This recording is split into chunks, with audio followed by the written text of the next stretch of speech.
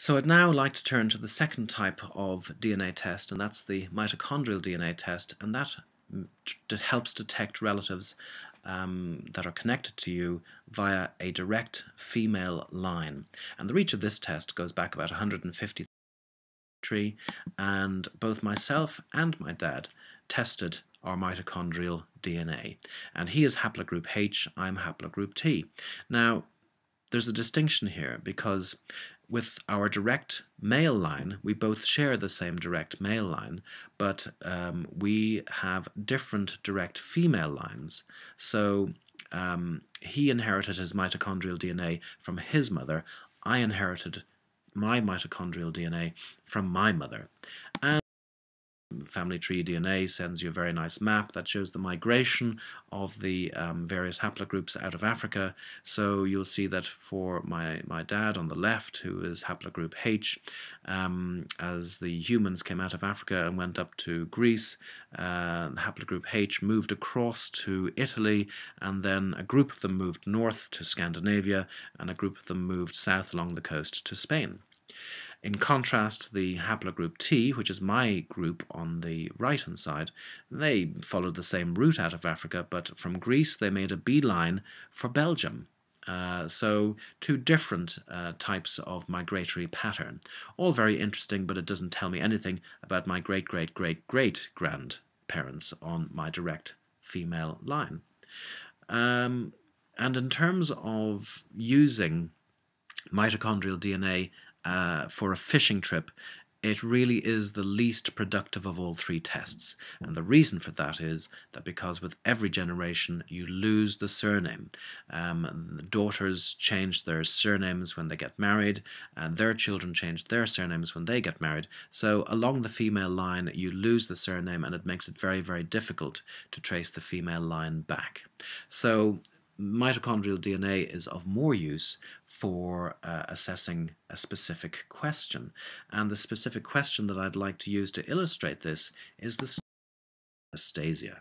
Now, Anastasia was made into a movie and was made into a cartoon, but both of these took uh, historical fact as the basis for the story, but then quickly um, uh, spiraled into the realm of fiction, uh, proving the adage never let the truth get in the way of a good story. But the story of fact is a very good story, and uh, fact is in many ways stranger than fiction. And it starts off with the Russian royal family of Tsar Nicholas II, um, and here's a photograph of him with his wife and their five children, four daughters and uh, a little boy, and everything was going fine until the Russian Revolution of 1917, when they were arrested, and sadly, a year later, they were executed and buried in an unmarked grave. Uh, shortly after the execution, rumours began to emerge that two of the children had escaped. And two years later, in 1920, this young woman was fished out of canal in Berlin, where she had jumped from a bridge trying to commit suicide. She refused to give her name. Um, she spoke German with a Russian accent. Uh, she was put in a mental hospital where she stayed for 18 months. And during that time in the mental hospital, uh, rumors started that she was in fact Anastasia. So this argument raged for many, many years. Members of the surviving royal Russian Russian royal family came to visit her and swore that she was. Other members came to visit her, visit her and swore that she wasn't. And so she was buffeted from pillar to post, really. Um, uh, finally, she uh, took refuge in the U.S. and um, she lived there, got married to a chap called Anderson, changed her name to Anna Anderson, and finally passed away in 1984. The day after she died, her body was cremated, thus destroying all DNA evidence that might have been there. Seven years after that, 91, with the dissolution of the former Soviet Union, documentary evidence came to light which suggested that the site of the burial of the Russian royal family was known. Archaeologists went out there and they found nine bodies in this burial site. Now, the Russian royal family, there were seven of them altogether, but when they were shot, the um, they also had several members of their staff shot as well. So the question was for investigators do six of these bodies share the exact same mitochondrial DNA? Because, of course, the five children would have received their mitochondrial DNA from their mother, their direct female line.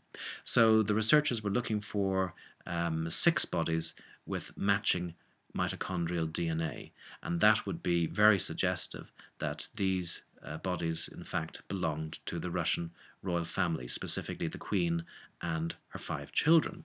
Uh, but also, they wanted to ascertain if the mitochondrial DNA found in these remains matched a living direct female line descendant of the Russian royal families, uh, the children of the Russian royal family. And they found a living descendant, and here he is. It's Prince Philip, the uh, Duke of Edinburgh. And he is connected to the children of the Russian royal family by um, a direct female line. In fact, his mother would have been first cousins with Anastasia.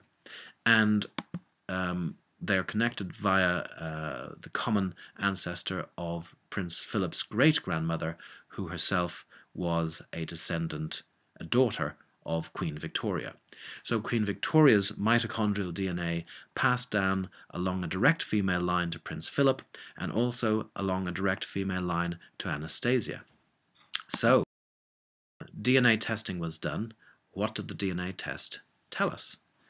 Well, they found that four of the nine bodies found in the burial site had mitochondrial DNA that was an exact match to Prince Philip, and this, they concluded, was the mother and three of her daughters, but two of the children were missing, and this was completely in line with the rumours that had started um, after the execution of the royal family in 1918. And it raised the, the question well, then, was Anna Anderson in fact Anastasia, as she had claimed to be all along? Um, just when we thought that there was no hope of finding an answer to this question, researchers came across a tissue sample um, uh, from an operation that Anna Anderson had had in 1979 when she'd had an operation on her intestine. And they also found a hair sample in a book that had belonged to her husband. So they tested the tissue t- sample from the intestine and the hair sample, and they both matched exactly. But Anna Anderson's mitochondrial DNA did not match Prince Philip or any of the bodies in the burial site, indicating that there was no way that Anna Anderson was Anastasia. It then raised the question well, if she wasn't Anastasia, who was she? Well, back in the 1920s, when she first appeared and came to notoriety, um, the remaining members of the Russian royal family, some of them got together and hired an investigator. Um, and the investigator came to the conclusion that uh, Anna Anderson, in fact, wasn't Anastasia, she was Franziska Schanzkowska who was a Polish factory worker whose fiance had been killed in World War I, and within weeks of this sad news, she had dropped a grenade by accident in the munitions factory where she worked. It had exploded, killing a man in front of her and injuring herself in the head. Thereafter, she had a history of mental illness with two episodes in a, in a mental hospital. And then in 1918, she, or 1920, she disappeared from her lodgings in Berlin and was never heard of again. Now, when this came out, they located the family of Franziska Schanzkowska, and she was visited by her brother, Felix, but he denied knowing her. And years later, when uh, she was living in Germany, the Nazis uh, got hold of, Shan- of the Schanzkowska family, uh, asked them to again visit uh, this woman and confirm whether or not it was her, their sister, um, and they denied it as well.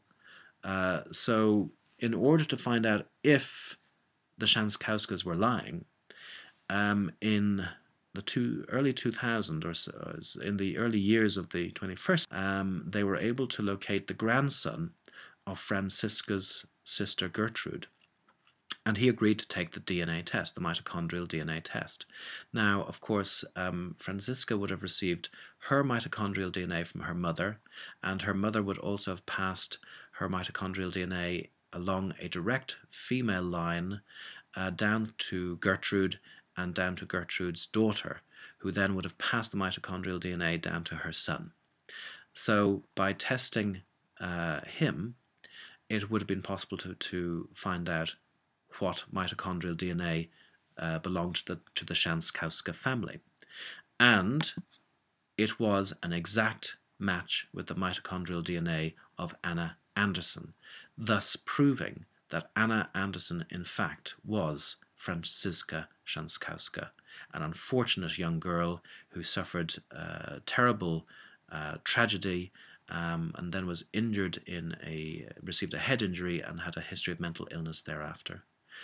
Now, in 2007, two further bodies were discovered, and those bodies matched Prince Philip and the two remaining siblings, indicating that um, the, uh, the matched Prince Philip and, in fact, were the two remaining siblings. And this brought the story of Anastasia to a close.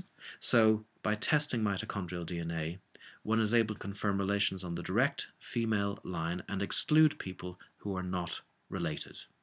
And that is the story of Anastasia.